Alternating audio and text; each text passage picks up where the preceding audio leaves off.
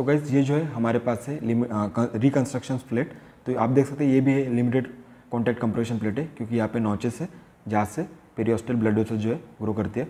और इसको reconstruction plate क्यों बोलते हैं? क्योंकि ये जो हम, इसको हम, इसको एडजस्ट कर सकते हैं किसी भी बोन के अकॉर्डिंग हम इसको जो है, इसको एडजस्ट कर सकते हैं। तो ये होगा हमारी रिकन्स्ट्रक्शन प्लेट